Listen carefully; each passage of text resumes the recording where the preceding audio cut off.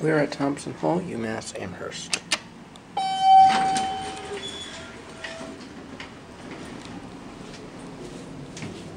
Go to 10.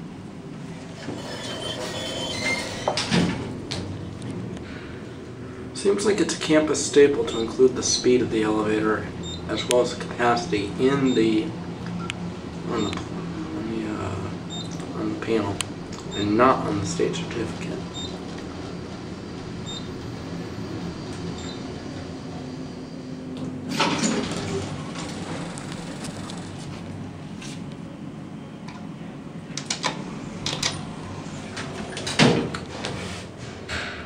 Tell this has been.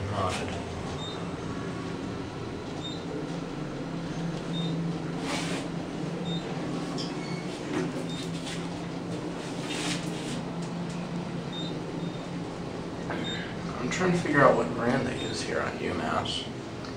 A lot of have innovation.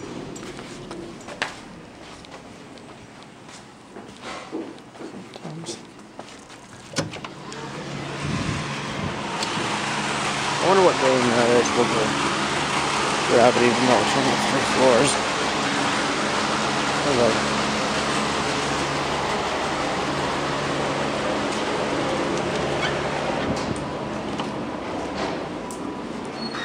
McNamara Hall.